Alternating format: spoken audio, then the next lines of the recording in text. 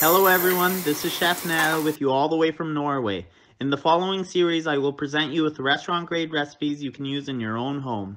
نقع الرز رز الحبة القصيرة نوضع بماء عادي من الصنبور لمدة ثلاث ساعات الكمية هي اختياري نتركه لمدة ثلاث ساعات هيك مضى ثلاث ساعات نتخلص من الماء بعد ثلاث ساعات بنتخلص من الماء وبنوضعه على قطعة قماش. وبنتركه لمدة ثلاث ساعات تانية. طبعا بنفرده وبنتخلص من الماء الزائد. وإحنا آه، يعني عاوزينه يكون شوية يكون رطب يعني مش عاوزين إنه ينشف على الآخر منشان ينطحن معنا يكون ناعم. هيك بعد ثلاث ساعات تانيين هو رطب قليل ما في مشكلة منشان يكون ناعم معنا. بنطحنه بمطحنة البن يكون مثل هيك ناعم. بننخل الدقيق. بنخله جيد والزيادة الخشن بنعيده لمطحنة البن وهيك بنعمل كل الكمية. مثل ما أنتم شايفين هو كتير ناعم مثل الدقيق العادي. بنسكب ثلاثة كوب كل كوب تقريبا وزنه مية وخمسة وثلاثين جرام مية وأربعة وثلاثين جرام حسب كمية الرطوبة اللي فيه. نوضع ثلاثة كوب وقليل من الملح ونص كوب تقريبا هو مية وخمسة وثلاثين جرام أو حسب الحاجة حسب الرطوبة الموجودة. ممكن نحتاج زيادة معلقتين ثلاثة بالعين يعني.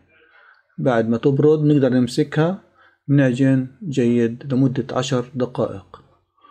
لازم نعجنها جيد لأنه هي ما فيها جلوتين وإحنا بنحاول نخلق فيها جلوتين.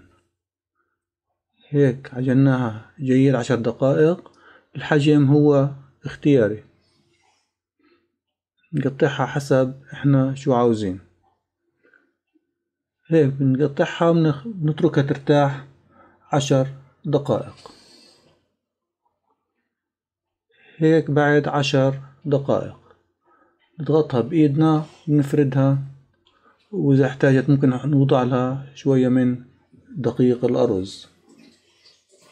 ممكن نعملها بقالب بالصحن مع السكين أو أي صحن متوفر عنا أو قالب أو نتركها مثل ما هي. ما في مشكلة. هو يعني منظر أكتر. هيك بنفرد الكمية كلها بنعملها ممكن نستخدم أي طاسة متوفرة عنا بالبيت أو أي في أي طريقة ممكن إحنا نخبزه. أي طاسة متوفرة. ستانلس تيفال أي شيء متوفر. ولكن أنا عجبني الطريقة هذه أكتر.